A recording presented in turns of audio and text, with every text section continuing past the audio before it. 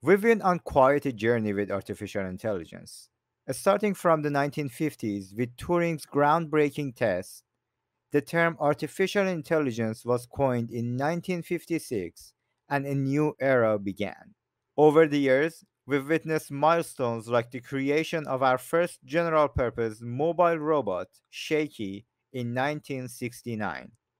By 1997, computers were defeating chess champions, and now, here we are in 2023, witnessing highly sophisticated language models like GPT 3 and Bard.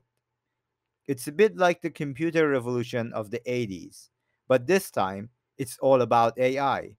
Mastering these new and powerful tools is becoming more crucial as the pace of advancements in AI is accelerating. The potential is immense, much like it was for those computer whizzes in the 80s. So buckle up for this exciting journey ahead. It's not just about watching what the future of AI will bring, but being a part of shaping that future ourselves.